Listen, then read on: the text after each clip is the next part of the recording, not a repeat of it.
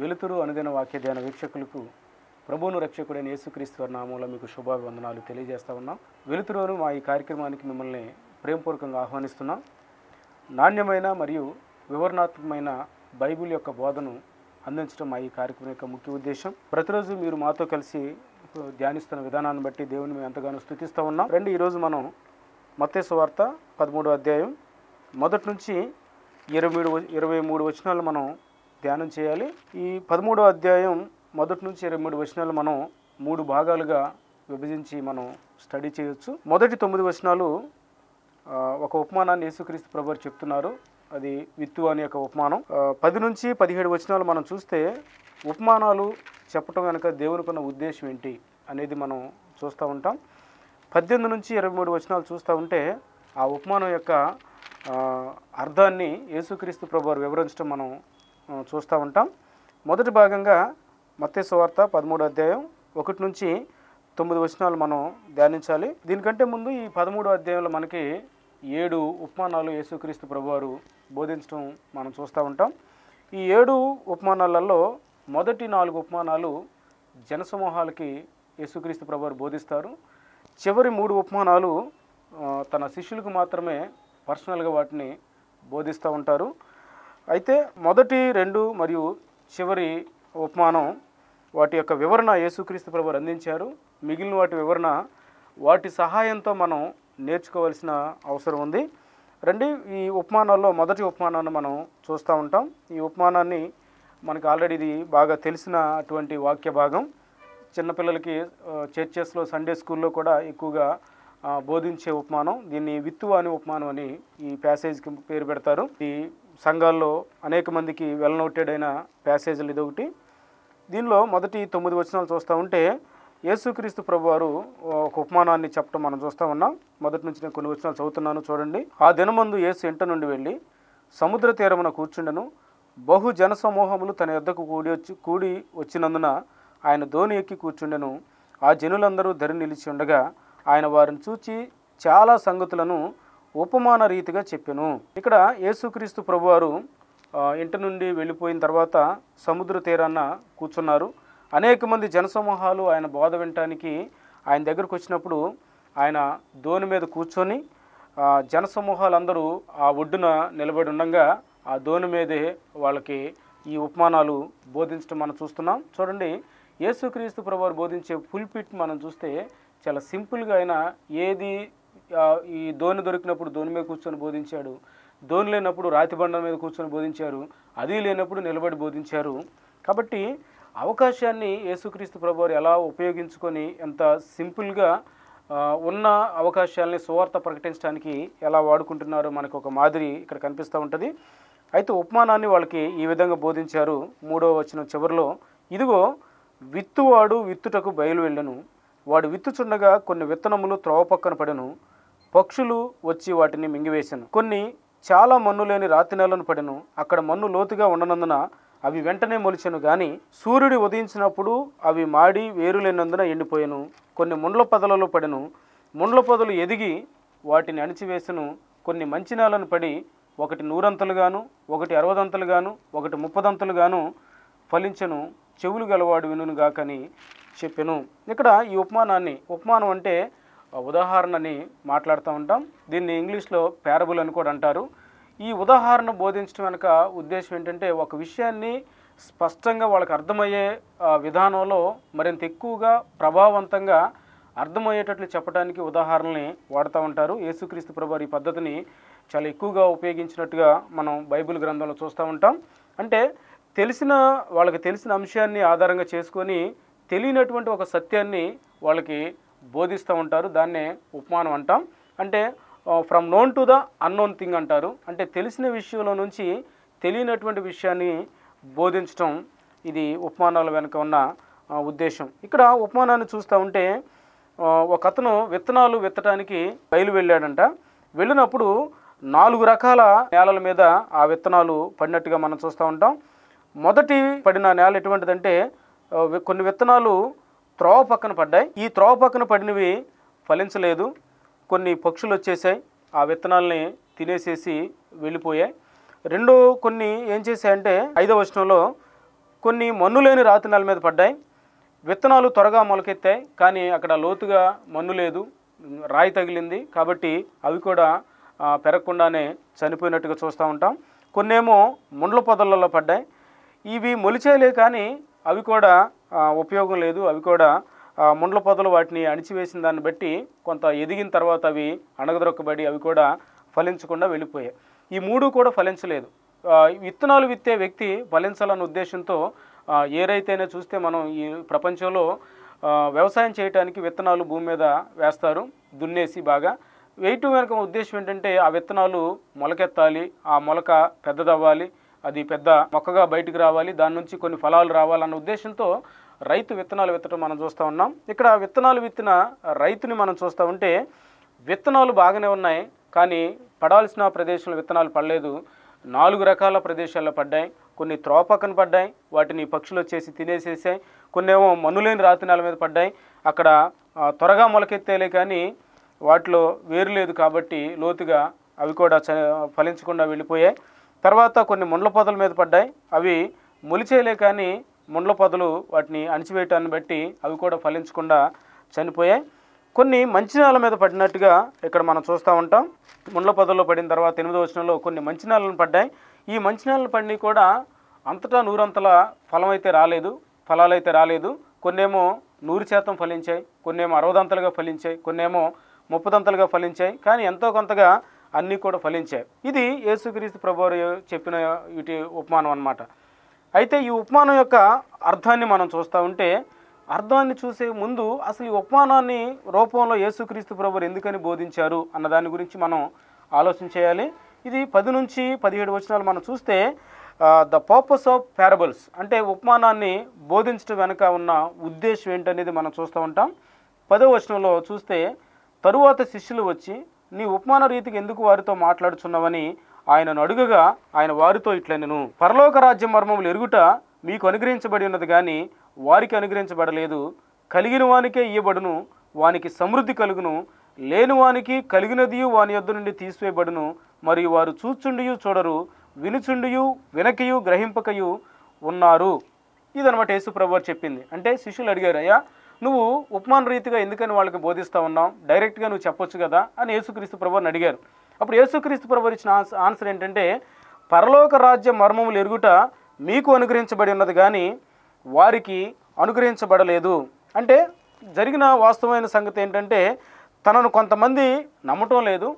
నమ్మే వారికి నమ్మని వారికి మధ్య ఉన్న భేదాన్ని ఇక్కడ యేసుక్రీస్తు ప్రభువారు వివరించారు.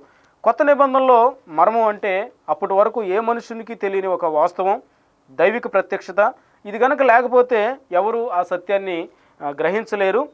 పన్నెండవ వచనంలో చెప్పినట్టుగా రహస్యాలు కేవలం తన శిష్యులకే మాత్రం వెల్లడి చేసి జన సమూహాలకు తెలియనివ్వకపోవటానికి గల కారణం. వాస్తవానికి ఇక్కడ చూస్తే పరలోక రాజ్య మర్మములు ఎరుగుట మీకు అనుగ్రహించబడింది కానీ వారికి అనుగ్రహించబడలేదు. అంటే ఇది ఒక నియంత స్టేట్మెంట్ లాగా చాలామంది భావిస్తూ ఉంటారు. కానీ వాస్తవానికి అక్కడ జరిగిన సత్యం ఏంటంటే వాళ్ళ హృదయాలు కఠినంగా ఉన్నాయి. యేసుక్రీస్తు ప్రభువారు సత్యాన్ని వాళ్ళకి తేటతెల్లంగా ప్రకటిస్తున్నప్పటికీ వాళ్ళ సత్యాన్ని అంగీకరించే మనసు వాళ్ళు కాకపోయిన దాన్ని బట్టి యేసు ఏమన్నారంటే కలిగిన వానికి ఇవ్వబడును ఇంకా సమృద్ధిగా ఇవ్వబడుతుంది లేని వానికి కూడా వాని దగ్గర నుంచి తీసివేయబడుతుంది. అంటే వీళ్ళు సత్యాన్ని సత్యంగా అంగీకరించకుండా ఆ సత్యాన్ని వీళ్ళు విస్మరిస్తూ ఉన్నారు. అంటే వెలుగుని అంగీకరించట్లేదు కావాలని ఆ వెలుగుని రిజెక్ట్ చేస్తున్నారు. కానీ శిష్యులు కొంతమంది అయితే ఏం చేస్తున్నారంటే వెలుగు పొందుకున్న వాళ్ళేమో మరింత ఎక్కువగా వెలుగుని అనుభవిస్తున్నారు. వెలుగుని తిరస్కరించిన వాళ్ళు ఆ ఉన్న ఆ కొద్దిపాటి వెలుగు కూడా వాళ్ళ దగ్గర నుంచి తీసివేయబడుతుంది. కటిక చీకటి వాళ్ళ హృదయంలో అలుముకుంటుంది. కారణం ఏంటంటే దేవుడు వారి యొక్క హృదయ కాఠిన్యానికి వాళ్ళని విడిచిపెట్టినట్టుగా మనం చూస్తూ ఉంటాం. అందుకని కలిగిన వానికి ఇవ్వబడుతుంది మరి సమృద్ధికి ఇవ్వబడుతుంది. లేని వానికి వాని దగ్గర నుంచి ఉన్నది కూడా తీసివేయబడుతుంది. అంటే తెలిసిన ఆ మిడిమిడి జ్ఞానాన్ని కూడా దేవుడు వాళ్ళ దగ్గర నుంచి తీసేస్తాడు. ఆ మిడుగురు పురుగుల్లాగా ఉన్న వెలుగుని కూడా వాళ్ళ దగ్గర నుంచి తీసేస్తాడు. ఆల్రెడీ వెలుగుని యేసుక్రీస్తు ప్రభు వారిని అంగీకరించిన వారికి మరింత ఎక్కువగా అర్థమయ్యేలాగా తనను తాను బయలుపరుచుకుంటున్నారు. ఎందుకంటే వీళ్ళు ఓపెన్ హార్ట్తో హృదయపూర్వకంగా యథార్థ హృదయంతో సత్యాన్ని స్వీకరించే హృదయం కలిగి ఉన్నారు కాబట్టి వీరికి మరింత ఎక్కువగా సత్యాలు యేసుక్రీస్తు ప్రభువారు బోధిస్తున్నారు. సత్యాన్ని తిరస్కరించే గుంపుకి యేసు ప్రభువారు వాళ్ళకి వీటిని మర్మాలుగానే ఉంచేశారు. వాళ్ళ హృదయ కాఠిన్యానికి వాళ్ళని వదిలిపెట్టేసేశారు. కాబట్టి హెచ్సి ఉడ్రింగ్ అనే ఒక దైవజనుడు ఏమంటాడంటే సత్యం అంటే వారికి ప్రేమ లేదు కనుక వారు సత్యం యొక్క వెలుగును పొందలేరు. ఎందుకని కొంతమంది దగ్గర నుంచి లేని వానికి వాని దగ్గర నుంచి తీసివేయబడుతుందంటే వాళ్ళకి సత్యాన్ని అంగీకరించే హృదయం లేదు. కాబట్టి వారు ఆ సత్యం యొక్క వెలుగును ఆ యొక్క వివరణను వాళ్ళు పొందుకోలేరు. కారణం ఏంటంటే వాళ్ళకి సత్యం అంటే ప్రేమ లేదు. అని చెప్పి పదమూడు నుంచి పదిహేను వచనాలు చూస్తే యేసుక్రీస్తు ప్రభు ఉపమాన రీతిగా బోధించడానికి గల కారణాలు అక్కడ ప్రవచనాత్మకంగా ఒక ప్రవక్త చెప్పాడు ఈ ప్రజలు కన్నులారా చూచి చెవులారా విని హృదయంతో గ్రహించి మనసు తిప్పుకొని నా వల్ల స్వస్థత పొందకుండానట్లు వారి హృదయం క్రొవ్వినది వారి చెవులు వినుటకు మందములైనవి వారు తమ కన్నులు మూసుకొని ఉన్నారు గనుక మీరు వినుట మట్టుకు విందురు కానీ గ్రహింపనే గ్రహింపరు. చూచుట మట్టుకు చూతురు కానీ ఎంత మాత్రము తెలుసుకుండ్రని యశ్యా చెప్పిన ప్రవచనము వీరి విషయమై నెరవేరుచున్నది. అయితే మీ కన్నులు చూస్తున్నవి గనుక అవి ధన్యములైనవి. మీ చెవులు వినుచున్నవి గనుక అవి ధన్యములైనవి. ఇక్కడ యేసుప్రభు చెప్తున్నారు. ఇది యశ్యా గ్రంథం యొక్క ప్రవచనంలో నెరవేర్పులో భాగంగా వీళ్ళు చూడటానికి చూస్తున్నారులే కానీ అది వాళ్ళు హృదయపూర్వకంగా గ్రహించట్లేదు వినటానికి వింటున్నారు కానీ అర్థం చేసుకోవట్లేదు. కావాలనే వీరి హృదయం కొవ్వింది వీళ్ళు కావాలని దేవుణ్ణి విస్మరిస్తున్నారు అని కాబో అందుకనే యేసుక్రీస్తు ప్రభువారు చెప్తున్నారు. వారి కన్నులు మూసుకున్నారు వినటానికి వింటున్నారు కానీ గ్రహింపరు చూడటానికి చూస్తున్నారు కానీ ఎంత మాత్రం తెలుసుకోరు. అయితే శిష్యుల గురించి ఒక మాట చెప్పాడు. అనేక ప్రవక్తలను నీతిమంతులను మీరు చూచు వాటిని చూడగోరియు చూడకపోయిరి మీరు వినువాటి వినగోరియు వినకపోయిరని మీతో నిశ్చయముగా చెప్తున్నాను ఇక్కడ యేసు ప్రభు చెప్పారు. చాలామంది గతంలో ప్రాత నిబంధనలు ఉన్న ప్రవక్తలు కానీ అబ్రహం దగ్గర నుంచి అనేక మంది యేసుక్రీస్తు ప్రభు వారి కోసం ఎదురు చూశారు. యేసు ప్రభు వారిని చూడాలనుకున్నారు ఆయన బోధలు వినాలనుకున్నారు ఆయన పాదాల దగ్గర కూర్చొని ఆయన సన్నిధిని అనుభవించాలని ఆశపడ్డారు. కానీ అనేక మందికి ఈ భాగ్యం అనుగ్రహించబడలేదు. కానీ మీకు మాత్రం ఈ భాగ్యం అనుగ్రహించబడింది. మీరు ధన్యులు అని యేసుక్రీస్తు ప్రభువారు వారికి చెప్పడం మనం చూస్తున్నాం. కాబట్టి ఉపమానాలు చెప్పడం వెనకన్న ఉద్దేశం ఏంటంటే సత్యాన్ని వెల్లడి చేసే వెల్లడి చేయడానికి యేసు ప్రభువారు ఉపమానాలు పద్ధతిని ఉపయోగించుకున్నారు. మరియు వారు గ్రహించేవారు మరింత ఎక్కువగా గ్రహించాలని గ్రహించిన వారు వారి హృదయ కాఠిన్యానికి వారిని వదిలిపెట్టడానికి యేసుప్రభు ఉపమానాలు ఉపయోగించుకున్నట్టుగా మనం చూస్తున్నాం. కాబట్టి దేవుడు న్యాయవంతుడు అనేది మనకి ఇక్కడ అర్థమవుతుంది. దేవుడు అన్యాయవంతుడైతే కాదు. వినేవారికి వినాలని ఇష్టపడే వారికి విధేయత చూపించాలని ఆశ కలిగిన వారికి మరింత ఎక్కువ విషయాలు ఆయన వెల్లడి చేశారు. అవిధేయత చూపించే వారికి హృదయాన్ని కఠినం చేసుకొని షట్టర్ క్లోజ్ చేసుకొని వాళ్ళ హృదయ కాఠిన్యాన్ని ప్రదర్శించే వ్యక్తులకి మరింత కఠినత్వాన్ని యేసుప్రభు వారు ప్రదర్శించడం మనం చూస్తున్నాం. ఎందుకంటే సత్యం అంటే వాళ్ళకి ఇష్టం లేదు వెలుగంటే వాళ్ళకి ఇష్టం లేదు కాబట్టి వాళ్ళు చీకట్లో ఉండడానికి ఇష్టపడుతున్నారు అసత్యంలో బ్రతకడానికి ఇష్టపడుతున్నారు దేవుడు లేకుండా జీవించడానికి ఇష్టపడుతున్నారు కాబట్టి కలిగిన వానికి ఇవ్వబడుతుంది. అంటే దేవుణ్ణి అంగీకరించే వారికి మరింత ఎక్కువగా తేటతలంగా ఆయన అర్థం చేసుకో ఆయన్ని ఆయన బయలుపరుచుకుంటున్నాడు. దేవుణ్ణి విస్మరించే వారికి ఆ ఉన్న వెలుగు కూడా ఉన్న ఆ కాస్త కూడా వాళ్ళ దగ్గర నుంచి తీసివేయబడుతుంది. దేవుడు వారి యొక్క కఠినత్వానికి వాళ్ళని అప్పగిస్తున్నాడు. రేపొద్దున జడ్జిమెంట్లో వారు నిరుత్తరులుగా దేవుని ఎదుట నిలబడతారు. ఎందుకంటే వాళ్ళు కావాలనే దేవుని విస్మరించారు కాబట్టి ఆ వెలుగును తిరస్కరించారు ఆ యొక్క సత్యాన్ని విస్మరించారు ఆ దేవుణ్ణి విస్మరించారు కాబట్టి దాన్ని తగిన ప్రతిఫలాన్ని రేపొద్దున జడ్జిమెంట్ రోజున తీర్పు దినాన వాళ్ళు ఖచ్చితంగా పొందుకొని తీరుతారు. రండి మనం మూడో భాగంలోకి వెళ్దాం. మొదటి భాగంగా యేసుక్రీస్తు ప్రభు వారు చెప్పిన విత్తువాని ఉపమానాన్ని మనం చూసాం. నాలుగు నేలల గురించి మనం మాట్లాడుకున్నాం. తర్వాత పది నుంచి పదిహేడు వచనాలు చూస్తే ఎందుకని యేసు ప్రభు వారు ఉపమాన రూపంలో దాన్ని బోధించారు అన్నదాన్ని మనం వివరించుకున్నాం. ఇప్పుడు చూడండి పద్దెనిమిదవ వచనం నుంచి మనం ఇరవై మూడవ వచనం వరకు చూస్తే ఈ ఉపమానం యొక్క వివరణ యేసు ప్రభు వారు ఇవ్వటం మనం చూస్తున్నాం. చూడండి శిష్యులు అడిగారు పద్దెనిమిదవ వచనంలో విత్తువాను గురించిన ఉపమాన భావం వినుడి అని చెప్తూ యేసు ప్రభు వారు ఇలా చెప్పారు. ఎవడైనను రాజ్యమును గూర్చిన వాక్యం వినియు గ్రహింపక ఉండగా దుష్టుడు వచ్చి వాని హృదయంలో విత్తబడిన దాన్ని ఎత్తుకొని పోవును. త్రోవ పక్కన పడిన త్రోవ పక్కన విత్తబడిన వాడు వీడే. పంతొమ్మిది వచ్చిన మనం చూసాం త్రోవ పక్కన విత్తనాలు పడ్డాయి. విత్తనాలు అన్నీ కూడా మంచివే. అన్నిటికి కూడా మొలకెత్తే లక్షణం ఉంది. నేల కూడా మంచిదే. కానీ పడాల్సిన చోట అవి పడలేదు. అంటే ఇక్కడ త్రోవ పక్కన పడిన విత్తనాలు దేని చూస్తుంది సూచిస్తున్నాయంటే అనేక రకాలైన వ్యక్తిత్వాలతో కూడుకున్న డిఫరెంట్ కేటగిరీ ప్రజలు ఉన్నారు ఆ డిఫరెంట్ కేటగిరీ ప్రజల్లో ఒక ప్ర- ఒక రకమైన ప్రజలు ఏంటంటే వీరు స్వార్థను వింటారు కానీ గ్రహించరు. పంతొమ్మిది వచ్చిన మనం చూస్తున్నాం కదా వారు దేవుని యొక్క రాజ్య సువార్తను వింటారు కానీ గ్రహింపక ఉండగా దుష్టుడు వచ్చి వాని హృదయంలో విత్తబడిన దాన్ని ఎత్తుకొని పోవును. త్రోవ పక్కన పడిన విత్తబడిన వాడు ఇతడే. వీళ్ళు ఏం చేస్తారంటే సువార్తను వింటారు కానీ గ్రహించరు అర్థం చేసుకోరు. వారు ఫలించకూడదని నిర్ణయించుకొని అక్కడికి వచ్చి కూర్చొని సువార్తను వింటున్నారు. కాబట్టి సాతాను వచ్చి రెడీగా ఆ విత్తబడిన ఆ వాక్యాన్ని వారి హృదయంలో నుంచి ఎత్తుకొని పోతాడు. ఇక్కడ నిందించాల్సిన వ్యక్తులు వ్యక్తులు ఎవరంటే వీరు వాక్యాన్ని వినటానికి సిద్ధంగా లేరు. చాలామంది యేసు ప్రభు దగ్గరికి ఎందుకు వస్తారంటే ఆయన ఏదో అద్భుతాలు చేస్తాడని ఆయన ఏదో స్వస్థతలు ఇస్తాడని ఆయన ఏదో ఇహలోక సమృద్ధి ఇస్తాడని యేసు ప్రభువుని వెంబడించడానికి ఇష్టపడుతున్నారు. ఇక్కడ ఒక రకమైన పీపుల్ ఉన్నారు. యేసు ప్రభు వారు చెప్పే బోధలు వింటున్నారు. కానీ వినటానికైతే వింటున్నారు. ఈయన బాగానే చెప్తున్నాడు ఈయన ఏదో మర్మాలు చెప్తున్నాడని చప్పట్లు కొడుతున్నారు. కానీ అంగీకరించిన సత్యాన్ని ప్రాక్టికల్గా వాళ్ళ జీవితంలోకి దాన్ని అన్వయించుకోలేకపోతున్నారు. వినటానికి అంటే వింటేనే సరిపోదు విన్నదానికి విధేయత చూపించాలి. కొంతమంది ఎక్కడ ప్రార్థన ఉన్న వస్తారు ఎక్కడ మీటింగ్ ఉన్న వస్తారు మీటింగులు కూడా కండక్ట్ చేస్తారు. ప్రార్థన అంటే పరుగు పరుగున వెళ్తారు వేరొక ఊరు వెళ్తారు ఏ వేరొక దైవజనుడు వస్తూ ఉంటే అక్కడ కూడా వెళ్తారు. అనేక చోట్లకు వెళ్తూ ఉంటారులే కానీ హృదయాన్ని మాత్రం దేవునికి ఎవరు వారు సగటు క్రైస్తవులు మనకి అంత తొందరగా వాళ్ళు అర్థం కారు. అంటే ఇక్కడ ఏ దృష్టితో మనం సువార్తను వింటున్నాం ఏ దృష్టితో మనం వాక్యాన్ని వింటున్నాం అనేది ఇంపార్టెంటు. వింటం సరిపోదు దాన్ని మనం గ్రహించాలి అర్థం చేసుకోవాలి మన జీవితానికి అన్వయించుకోవాలి. తద్వారా ఆ వాక్యం యొక్క ఫలాన్ని మనం పొందుకోవాలి. ఇక్కడ పక్షులు దుష్టుణ్ణి సూచిస్తూ ఉన్నాయి. ఆ త్రోవ పక్కన పడిన విత్తనాల్ని అంటే సరైన సిద్ధపాటు లేకుండా వాక్యాన్ని వినటానికి మనం రెడీ అయ్యేస్తే బైబుల్ బైబిల్ చదవటానికి రెడీ అయిపోతే సరైన సిద్ధపాటు లేకుండా ఆ వాక్యాన్ని హృదయంలో నుంచి సాతాను ఎత్తుకొని పోతాడు. గమనించండి వాక్యం చాలా శక్తి కలిగింది. ఎన్నో ఎన్నో వేల మంది ఎన్నో లక్షల మంది జీవితాల్ని మార్చే శక్తి వాక్యానికి ఉంది. అది రెండంచులు గల ఎటువంటి వాడి అయిన ఖడ్గం కంటే కూడా పొదునైనది. అది ప్రాణాత్మ దేహాలను కూడా చీలుస్తూ ఆ యొక్క వెలుగుని ప్రసరింపజేస్తూ దేవుని యొక్క సత్యంలోనికి అనేక మందిని నడిపించే శక్తి వాక్యానికి ఉంది. కీర్తనకారుడు అంటాడు నీ వాక్యం జుంటు తేనె దారుల కంటే మధురంగా ఉంది. ఇది బండను బద్దలు చేసే సుత్తు లాంటిది. నీ వాక్యం అగ్ని లాంటిది. నీ వాక్యం కత్తి లాంటిది. నీ వాక్యం వెల్లడి ఒకటి తోడనే నాకు మధురంగా అనిపించింది. అంటే ఎంత విలువైన వాక్యాన్ని మనం అంగ అర్థం చేసుకునేటప్పుడు మనం వింటున్నప్పుడు దాన్ని అర్థం చేసుకోవాలి నా జీవితానికి దాన్ని అప్లయించుకోవాలి అప్లై చేసుకొని అన్వయించుకొని దేవుడు ఏ విషయాన్నైతే నాకు ఒప్పుదల అనుగ్రహిస్తున్నాడో ఆ విషయాన్ని ప్రభు దగ్గర నేను ఒప్పుకొని ఒక సత్యాన్ని ఆయన వెల్లడి చేస్తున్నప్పుడు ఆ సత్యాన్ని హృదయపూర్వకంగా నాకు ఇష్టం ఉన్నప్పటికీ లేనప్పటికీ అంగీకరించగలిగితే మన జీవితానికి ఆ వాక్యం ఉపయోగపడుతుంది. లేదంటే సాతాను రెడీగా ఉంటాడు. వాడు హృదయంలో నుంచి వాక్యాన్ని ఎత్తుకొని పోతాడు. ఎన్ని రోజులు మనం ఇటువంటి దృక్పథంతో వింటున్నా ప్రతిరోజు వినొచ్చు. ప్రతి వారం వినొచ్చు. ఎక్కడన్నా మీటింగ్ పెడితే అక్కడికి వెళ్ళి మన వాక్యాన్ని వినొచ్చు.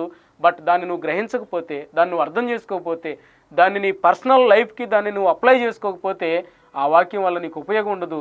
విన్న వాక్యాన్ని సాతాను ఎత్తుకొని పోతాడు. ఇది త్రోవ పక్కన పడిన విత్తనాల గురించి ప్రభు చెప్పాడు.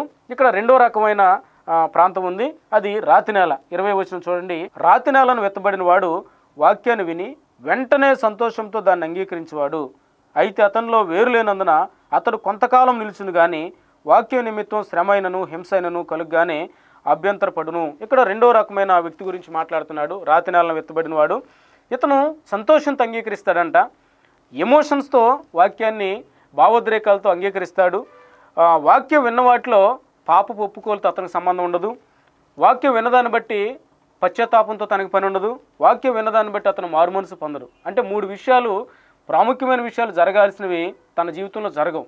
ఒకటి అతను పాపాలు ఒప్పుకోడు విడిచిపెట్టడు. రెండు పశ్చత్తాపడ్డు మూడు మారు మనసు పొందడు.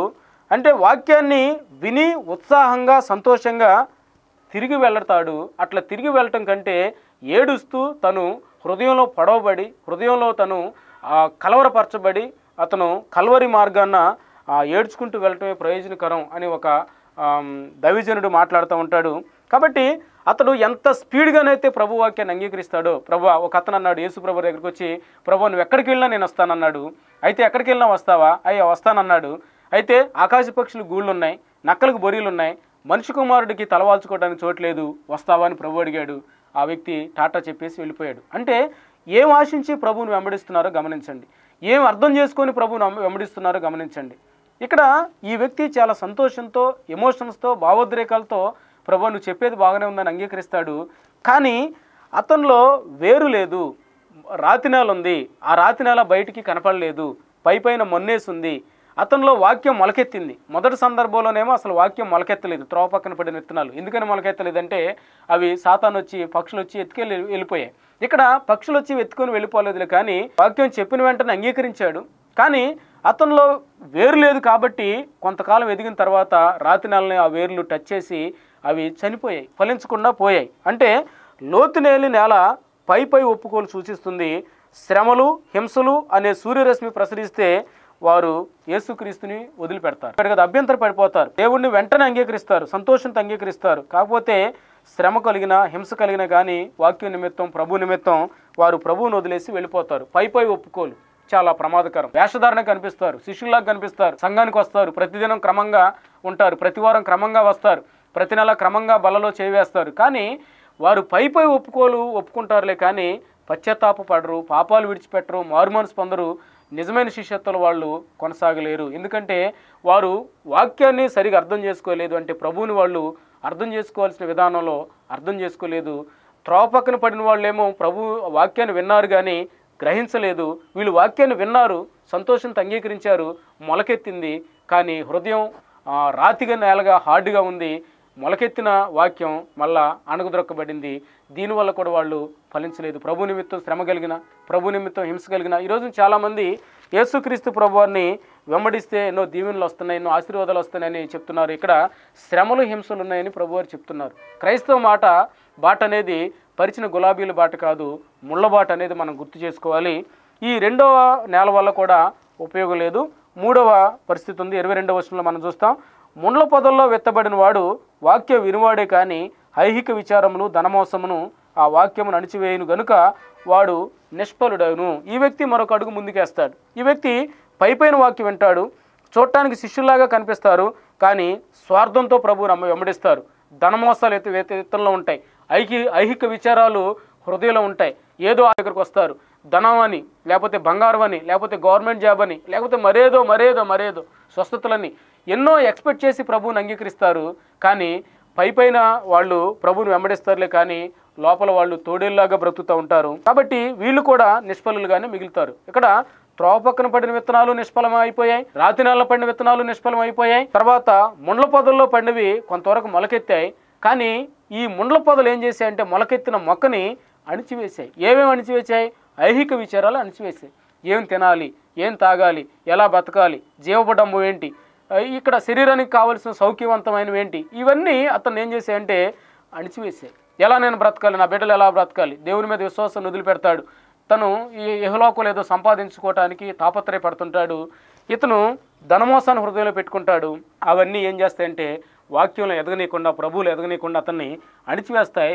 ఒక ఫైనల్ డే చూస్తే ఫలాలు ఏమన్నా వస్తాయని రైతు ఎక్స్పెక్ట్ చేస్తే నిష్ఫలుడిగా మిగిలిపోతాయి. ఒక ఫలం కూడా లేదు. చూడండి ఈ మూడు నెలల్లో కూడా విత్తనాలు ఒకే రకమైన విత్తనాలు కానీ విన్న విధానం వేరే విధంగా ఉండదాన్ని బట్టి వేరువేరుగా ఉండడాన్ని బట్టి తోవ పక్కన పడినవి మొలకెత్తలేదు. రాత్రి నెల పండివి మొక్క మొలకెత్తలేదు. తర్వాత ఇక్కడ ముండ్ల పొదల్లో పండి కూడా మొలకెత్తలేదు. మూడు కూడా నిష్ఫలంగానే ఉన్నాయి. ఈ మూడు రకాల పీపుల్ వల్ల ప్రభుకి ఏమాత్రం ఉపయోగం ఉండదు. మనం ఈ మూడు రకాల వ్యక్తుల్లో ఎవరిలా కూడా మనం ఉండకూడదు. అయితే ఇరవై మూడు వచ్చిన చెప్పినట్టుగా కొన్ని విత్తనాలు ఏం చేసాయంటే మంచి నెలను విత్త విత్తబడిన వాడు వాక్యాన్ని విని గ్రహించువాడు. అట్టివారు సఫలులై ఒకడు నూరంతలుగా ఒకడు అరవదంతులుగా ఒకడు ముప్పదంతులుగాను ఫలించినను. ఇక్కడ ఒక బిలీవర్ అన్నమాట. వాక్యాన్ని విన్నాడు వాక్యాన్ని అర్థం చేసుకున్నాడు వాక్యాన్ని గ్రహించాడు వాక్యాన్ని తన జీవితానికి అప్లై చేసుకున్నాడు. కాబట్టి శక్తి కలిగిన వాక్యాన్ని అంగీకరించాడు కాబట్టి తన జీవితం మారింది. అందరూ ఒకేలాగా ఫలించలేదు. బిలీవర్స్ ఎవరు ఒకేలాగా ఫలించరు. కొంతమంది నూరంతలుగా ఫలిస్తారు. కొంతమంది అరవదంతలుగా ఫలిస్తారు. కొంతమంది ముప్పదంతలుగా ఫలిస్తారు. ఫలించే వారైతే ఏదో ఒక విధంగా ఫలిస్తూనే ఉంటారు. కానీ నిష్ఫలులుగా అయితే ఉండరు. కాబట్టి ఈ ఉపమానం మనకి ఏం బోధిస్తుంది అనేది మనం అర్థం చేసుకుంటే ఉపమానంలో వాక్యం విని దానికి విధేయులు కాకపోతే కలిగే నష్టాన్ని గురించి స్పష్టంగా హెచ్చరించింది. వాక్యాన్ని విని విన్న వాక్యానికి విధేయులు కాకపోతే వాక్యాన్ని చదివి చదివిన వాక్యానికి విధేయత మనం చూపించకపోతే ఎంత నష్టం జరిగింది అనేది చాలా తీవ్రంగా ప్రభువారు హెచ్చరించడం మనం చూస్తున్నాం. రెండవది వాక్యాన్ని విని అనుసరించి ఫలించాలి అని ప్రతి ఒక్కరిని ఇది ప్రోత్సహిస్తుంది. ఒకటి హెచ్చరిక జారీ చేస్తుంది రెండు ప్రోత్సహిస్తుంది. ఏ ఎటువంటి హెచ్చరిక జారీ చేస్తుందంటే నువ్వు వాక్యాన్ని వింటేనే సరిపోదు వాక్యాన్ని చదివితేనే సరిపోదు విన్న వాక్యానికి చదివిన వాక్యానికి నువ్వు విధేయత చూపించాలి. విధేయత చూపించకపోతే ఎంత నష్టం జరుగుతుందనేది హెచ్చరిక. రెండవది ప్రోత్సాహం. వాక్యాన్ని విని అనుసరించి విధేయత చూపిస్తే ఫలిస్తాం అన్నదాన్ని మనకి ప్రోత్సాహనిస్తుంది. కాబట్టి ఒక వ్యక్తి ఎన్నో సంవత్సరాల నుంచి ప్రభువుని వెంబడిస్తూ చర్చిలకు వస్తూ ప్రభు విశ్వాసంలో కొనసాగుతున్నప్పటికీ నిజమైన ఫలాలు తనలో కనిపించట్లేదు అంటే ప్రభు ఆశించే జీవితం తనలో లేదు అంటే గల కారణం అతను ప్రభువుని అర్థం చేసుకోవాల్సిన విధానంలో కాకుండా వేరొక విధానంలో అర్థం చేసుకున్నాడు. వాక్యాన్ని ప్రభువారు చూపించే దృష్టితో కాకుండా తను వేరే దృష్టితోనూ అంటే త్రోవ పక్కన పడిన విత్తనాలాగా వెళ్ళిపోవచ్చు లేకపోతే రాతి నేల పడిన విత్తనాలాగా నిష్ఫలుడిగా మిగిలిపోవచ్చు లేకపోతే ముండ్ల పొదల్లో పడిన ఐహిక విచారాలు ధనమోసం లేకపోతే ఏం తినాలి ఏం తాగాలి ఇటువంటి చింతలు తనని కృంగుబాటు చేయొచ్చు కానీ మంచి నేలను పడాలని ప్రభువారు కోరుకుంటున్నారు. మంచి నేలను పడిన విత్తనాలు అరవదంతలు ముప్పదంతలు నూరంతలుగా ఫలిస్తాయి ఫలించి తీరుతాయని యేసు ప్రభువారు మనకి సెలవిస్తున్నారు. కాబట్టి మనం మంచి నేలను పడిన విత్తనాలాగా ఫలించి అభివృద్ధి పొంది ప్రభు నామాన్ని మనం మహింపరచాలని దేవుడు మన నుంచి కోరుకుంటున్నాడు. దేవుడు తన వాక్యాన్ని దీవించిన గాక. తల్ల వంచండి చిన్న ప్రార్థన చేసుకుందాం.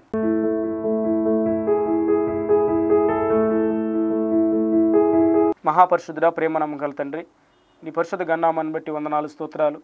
మీరు మాకు సెలవిచ్చిన నీ మాటలను బట్టి నీకు వందనాలు ప్రభా. నాయన మీరు విత్తు అనే ఉపమానం నుంచి మీరు మాతో మాట్లాడిన విధానాన్ని బట్టి నీకు వందనాలు. నాలుగు రకాల నేలలు ఉన్నాయి ప్రభా. నాయన మరి త్రోపక్కన పడిన విత్తనాలని పక్షులు వచ్చి తినేసే సాతాను వచ్చి ఎత్తుకొని వెళ్ళిపోయాడు. అయ్యా మరి రాతి నేల పడిన విత్తనాలు ఉన్నాయి మొలిసేయలే కానీ వేరు లోతుగా వెళ్ళద వెళ్ళకపోవటాన్ని బట్టి ప్రభు అతడు నిష్ఫలుడుగానే మిగిలిపోయాడు. నాయన మరి ముళ్ళ పొదల్లో పడిన విత్తనాలు ఉన్నాయి అతడు నాయన ముళ్ళ పొదల్లో మొలిచేయలే కానీ ప్రభు ఐహిక విచారాలు ధనమోసం వాటిని అణిచివేశాయి ప్రభా. కానీ మంచి నాళ్ళు పడిన విత్తనాలు ముప్పదంతలు అరవదంతలు నూరంతలుగా ఫలించాయి. ఆయన మీరు కూడా మేము నూరంతలుగా ఫలించాలని అరవదంతలుగా ఫలించాలని ముప్పదంతలుగా ఫలించి నాయన నీ నామాన్ని మేము మహింపరచాలని మీరు కోరుకుంటున్నారు నాయన. అయితే నాయన ప్రభా మరి కలిగిన వానికి మరింత ఎక్కువ ఇవ్వబడుతుంది. లేని వానికి వాని ఎద్ద నుంచి కూడా ఉన్నది కూడా తీసివేయబడుతుందని చెప్పారు. నిజంగా నీ వెలుగుని అంగీకరిస్తే మరింత ఎక్కువగా వెలుగులోకి మేము నడుస్తాం. నీ సత్యాన్ని మేము తిరస్కరిస్తే ప్రభా ఇంకా చీకట్లోనే మేము బ్రతుకుతామని. నాయన సత్యాన్ని కావాలని కొంతమంది విస్మరించారు. ప్రేమ లేకుండా వాళ్ళు మిగిలిపోయారు. కాబట్టి నాయన మీరు సత్యాన్ని వెల్లడి చేస్తున్నప్పుడు మేము అంగీకరించడానికి.